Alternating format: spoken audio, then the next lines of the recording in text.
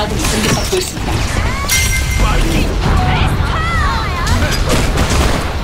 엑솔라 작전이 목표로 아군이 타워를 공격 중입니다. 전력 공격